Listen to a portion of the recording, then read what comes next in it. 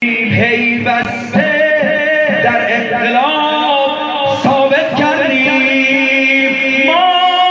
پیرو رهبر و ولایت هستیم